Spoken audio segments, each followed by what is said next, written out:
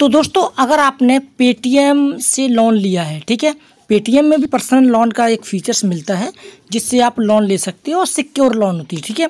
अगर आपने पेटीएम से लोन लिया है और किसी भी प्रकार की कोई भी दिक्कत समझ में आ रही है तो आप कैसे इस दिक्कत को सॉल्व करने के लिए पेटीएम के कस्टमर केयर से बात करेंगे। पेटीएम के नहीं पेटीएम का जो लोन देता है ना उससे आप कैसे बात करेंगे? मतलब लोन की जो कस्टमर है, उनसे कैसे बात करेंगे? देखो पेटीएम का कस्टमर केयर अलग है पेटीएम पोस्ट पेड का कस्टमर केयर अलग है, और पेटीएम के ज़रिए जो आपको लोन प्रोवाइड करता है, उसका भी कस्टमर केयर अलग है।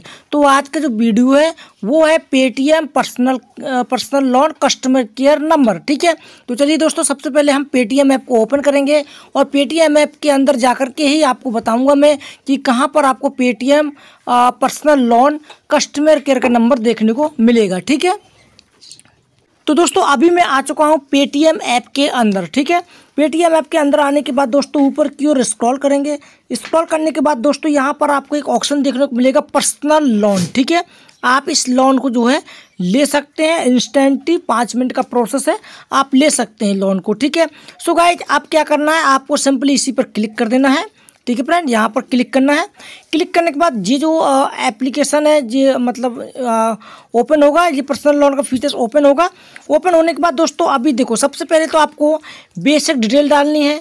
उसके बाद में एडिशनल इन्फॉर्मेशन डालनी है और जो भी आपको लोन मिलेगा, फिर आपको दिखा दिया जाएगा कि आपको इतना लोन मिल रहा है, ठीक है? अभी दोस्तों मैं आपको बता दूँ कि मैंने इसमें अप्लाई तो किया है बट मेरे एरिए में हो सकता है लोन नहीं मिलती हो तो जिसकी वजह से मुझे लोन का कोई भी ऑफर्स नहीं मिला। देखो यहाँ पर लिखा sorry we can not process with with your application ठीक है? यानी कि हमारे एप्लीकेशन को प्रोसेस नहीं किया गया था और रिजेक्ट कर दिया था लोन के लिए, ठीक है? अभी क्या करना है दोस्तों? अगर इसके रिलेटेड कोई भी आपको जानकारी लेनी है तो आपको सिंपली यहाँ पर क्लिक करना होगा ठीक है? यहाँ पर क्लिक करने तो मेरे भाई आपको कुछ नहीं करना है यहाँ पर कॉलिंग का जो आपको आइकन दिख रहा है इस पर आपको क्लिक करना है और क्लिक करने के बाद यहाँ पर आपको इनसे चैटिंग करके बात करनी है। मेरे भाई अगर मैं आपको बात करके दिखाऊँगा ना तो यहाँ पर दोस्तों क्या है कि ब्लैक ब्लैक हो जाता है स्क्रीन जिसकी वजह से मैं आपको वीडियो में नहीं दिखा पाऊँगा, इसलिए मैं दिखाने की कोशिश नहीं कर रहा हूँ, ठीक है?